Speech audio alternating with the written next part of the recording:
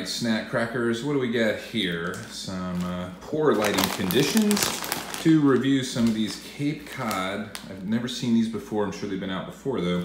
Aged white cheddar and sour cream. Not just your regular uh, white cheddar, but actually aged. Ooh.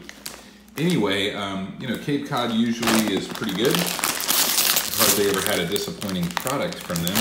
So let's just do a first taste. Let's just jump right on into this thing. Of course, it's your typical little Cape Cod kettle chip here.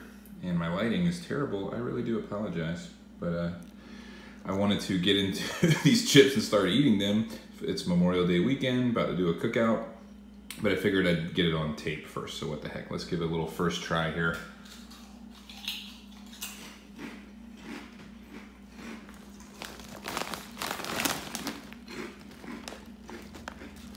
Mmm, the perfect blend of aged white cheddar. Monterey Jack and Swiss. Yeah, it's uh, pretty good. And 40% less fat, what? Yeah, it does have a pretty cool uh, almost like cheddar popcorn kind of taste. Like white cheddar popcorn, you know? Reminiscent of that.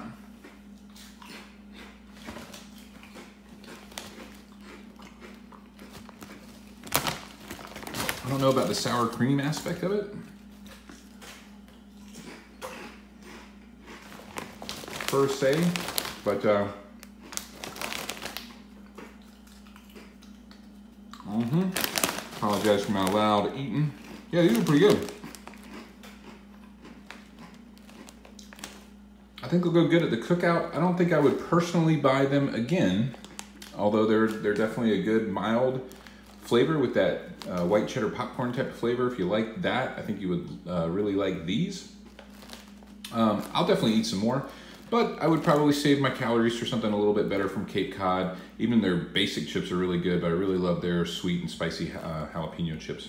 But these are pretty darn good. And I'd say, um, especially for that cookout crowd who might not like the spicy stuff, this is a good uh, mix that anyone can enjoy.